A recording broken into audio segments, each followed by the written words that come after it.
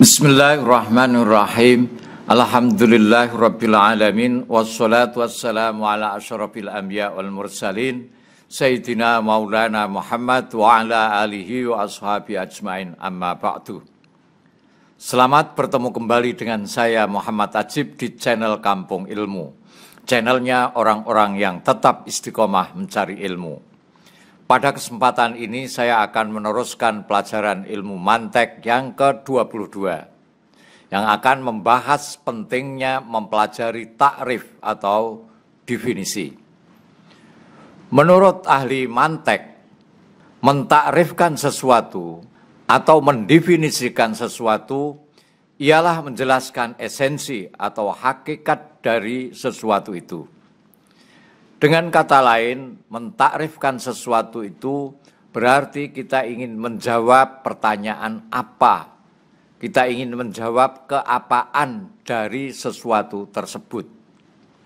Salah satu di antara kegunaan mentakrifkan sesuatu itu adalah kita dapat memberi batasan cakupan dari sesuatu tersebut. Contohnya, kita mentakrifkan manusia atau al-insan dengan al-hayawanun natik, hewan yang berpikir. Ini berarti kita memberi batasan terhadap hal-hal yang bisa kita sebut sebagai insan atau manusia. Kausar, nama salah satu cucu saya, bisa kita sebut manusia. Karena kausar adalah hewan yang berpikir, Sedangkan sapi tidak bisa kita sebut manusia, karena sapi bukanlah hewan yang berpikir. Ta'rif secara etimologi berarti pengertian atau batasan sesuatu. Ta'rif juga disebut al-qaulus syarih, ungkapan atau perkataan yang menjelaskan. Dengan demikian, takrif menyangkut adanya sesuatu yang dijelaskan, penjelasannya itu sendiri, dan cara menjelaskannya. Takrif juga disebut al-had. Al-had yaitu qaulun dalun ala mahiyatis syai' kalimat yang menunjukkan hakikat sesuatu.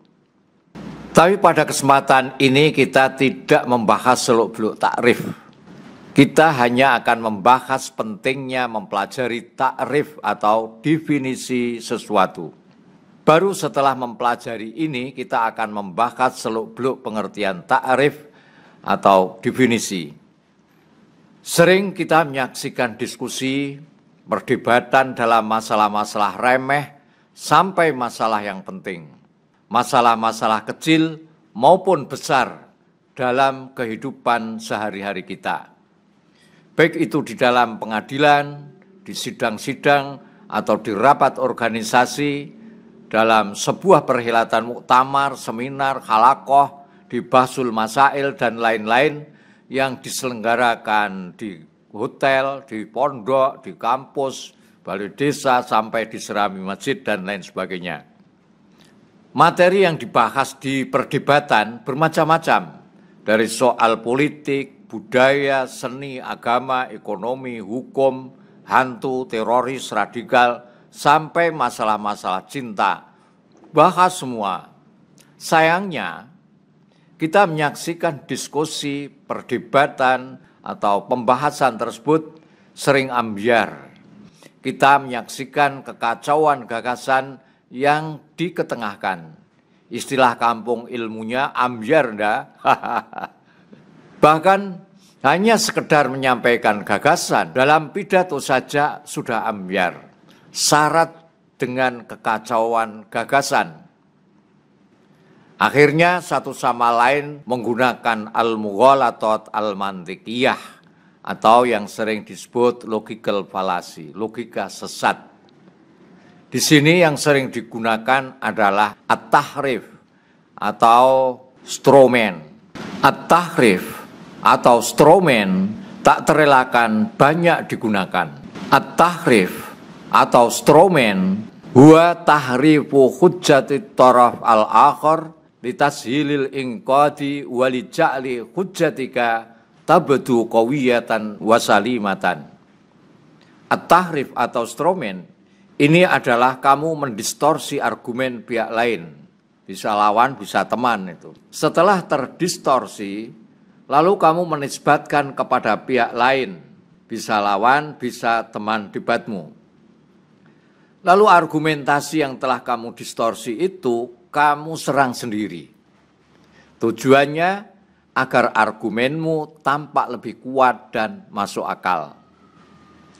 Lebih jelasnya masalah al-mughalatat al-mantikiyah atau logical fallacy ini ikuti dan tonton materi pelajaran logical fallacy di channel Kampung Ilmu. Sahabat Kampung Ilmu yang berbahagia, sepertinya banyak orang yang tidak menyadari hal ini. Dan kenapa terjadi demikian? Mengapa terjadi kekacauan gagasan? Hal paling mendasar yang sering kali dilupakan oleh banyak orang adalah membuat definisi yang benar. Yang sering kali dilupakan oleh banyak orang adalah pentingnya definisi. Tetapi enggak juga. Dalam hal-hal tertentu, istilah-istilah tertentu memang sengaja tidak diperjelas pendefinisiannya. Sebab kalau definisi itu jelas, las, gamblang, maka akan membatasi kerja pihak-pihak tertentu. Dengan definisi yang tidak jelas, mereka akan bebas menafsirkan, sehingga kewenangannya menjadi seluas tafsirannya. Nah, itu sebenarnya yang berbahaya. Contoh di sini kami temukan di link berikut ini yang membahas pentingnya definisi terorisme dalam RUU terorisme. Menurut Arsul Sani, pemerintah penegak hukum tidak mau mengatur definisi terorisme. Alasannya, ketika ada pengaturan definisi terorisme, bakal membatasi kerja-kerja aparat dalam penegakan hukum, khususnya pemberantasan tindak pidana terorisme. Kenapa definisi begitu penting? Sokrates mengatakan, tanpa definisi yang jelas, yang gamblang, maka yang ada hanya kebingungan mutlak. Kita kembali ke soal definisi. Mengapa definisi itu penting? Kenapa demikian? Sebab kejelasan definisi memberikan arah dan batasan sejauh mana seseorang mengembangkan gagasan pemikirannya, dengan terarah dan tidak membingungkan orang lain. Misalnya jika kamu mau berbicara tentang politik, tentang radikal, khilafah, maka kamu harus mendefinisikan dengan jelas apa maksud kata politik, radikal, khilafah, seperti apa yang ingin kamu bahas. Kalau kamu mau ngomong politik, definisikan dulu apa itu politik dan beri batasan. Apa politik dagang, politik kekuasaan, politik luar negeri, atau politik dagang sapi, dan lain sebagainya. Kalau mau membahas radikal, definisikan dulu apa itu radikal. Apa itu radikal masalah agama, radikal masalah politik, radikal masalah ekonomi, apa radikal dalam istilah fisika dan lain sebagainya. Tanpa kejelasan definisi seperti istilah politik dan radikal, maka seorang akan kesulitan mengembangkan gagasannya dengan sistematis dan bisa jadi orang lain pun akan kebingungan memahami maksud kata politik, radikal, dan khilafah. Bagaimana jadinya sebuah tulisan ceramah disampaikan tanpa kejelasan definisi. Tapi faktanya itu sering kita jumpai bahkan di forum-forum ilmiah. Tulisan, ceramah, pemaparan ilmiah tanpa kejelasan definisi hasilnya adalah kebingungan. Yang menarik, beberapa tulisan ceramah pidato entah sadar atau tidak terdapat multi definisi terdapat multi definisi terhadap satu istilah. istilahnya satu, tapi didefinisikan bermacam-macam. Maka yang terjadi adalah penceramah narasumber telah melakukan inkonsistensi demi inkonsistensi dalam gagasan pikirannya sendiri. Misalnya pada paragraf awal seorang berbicara tentang radikal itu suatu kelompok intoleran. Tapi kemudian berbicara tentang radikal adalah kelompok yang menginginkan berdirinya negara Islam Indonesia. Kemudian berubah lagi di paragraf lain, berubah lagi bahwa radikal adalah kelompok yang ingin tegaknya syariat Islam. Selanjutnya kata radikal didefinisikan kelompok yang mengancam keamanan negara. Begitu pula istilah teroris dan istilah-istilah lain yang bisa dipermainkan definisinya. Jadi semua ini disebabkan oleh definisi yang tidak jelas. Padahal ini sudah diajarkan oleh Sokrates sejak abad kelima sebelum Masehi. Namun sampai sekarang masih saja banyak dari kita yang tidak menyadarinya. Di sinilah rahasianya. Kenapa Sokrates sering kali menang dalam setiap perdebatan? Ya, ya karena konsistennya dalam membuat definisi. Kenapa definisi penting? Sebab sebagian orang begitu mudahnya menggampangkan suatu istilah yang mungkin lazim digunakan oleh kebanyakan orang sehingga merasa tidak perlu mendefinisikan istilah tersebut. Padahal sangat mungkin orang lain mempunyai pemahaman yang berbeda terhadap istilah tertentu, walaupun untuk istilah yang sudah lazim sekalipun. Setiap istilah bisa dipakai untuk kepentingan tertentu. Untuk itu perlu dijelaskan dengan baik. Contoh sederhana, misalnya untuk kata Islam, ahlus sunnah, setan, gila. Kita ambil contoh kata gila yang biasa dimaknani dengan orang yang otaknya rusak sehingga tidak bisa berpikir atau orang yang sarafnya terganggu atau jiwanya yang terganggu pikirannya tidak normal. Ketika kata gila dipadankan dengan kata lain dan dalam konteks yang lain seperti gila judi, gila-gilaan dan lain sebagainya, maka istilah gila ini sudah bermakna lain. Maka istilah gila ini sudah bermakna lain yang sangat berbeda jauh dengan makna gila dalam pengertian lazimnya bisa bermakna tidak sebagaimana mestinya.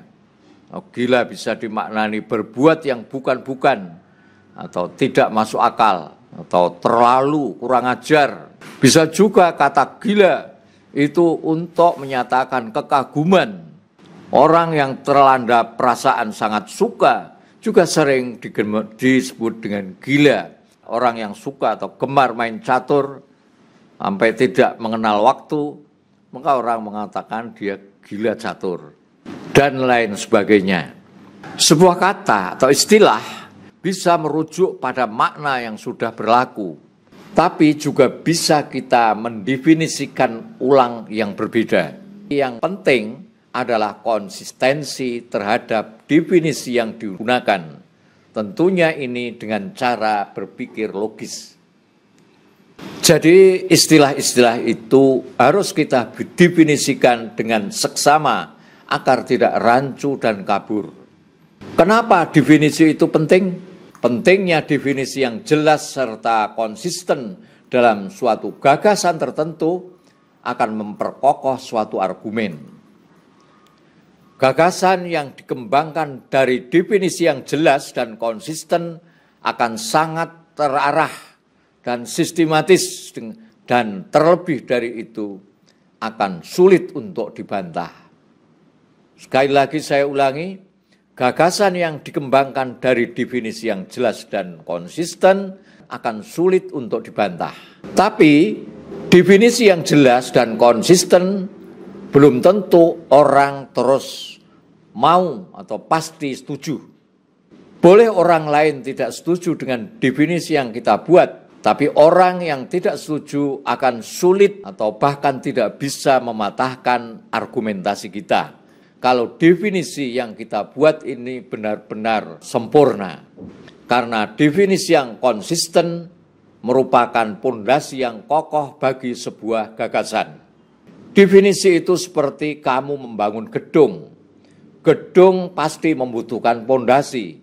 Kalau tidak, maka sebuah gedung tidak dapat dibangun di atasnya. Jadi dalam menuangkan suatu gagasan, definisi merupakan suatu keharusan dan sangat penting sekali. Tidak ada kejelasan definisi, berarti yang ada hanyalah kebingungan tanpa definisi yang jelas dan konsisten, maka perdebatan hanya akan berkutat pada level kebodohan. Sahabat kampung ilmu yang berbahagia, sering di dalam mencari makna suatu istilah atau kata kita menggunakan kamus. Kamus boleh dipakai sebagai pedoman, tapi bukan satu-satunya untuk mengadili definisi istilah atau kata. Sampai ketemu lagi insya Allah. Assalamualaikum warahmatullahi wabarakatuh. Muhammad Asyib.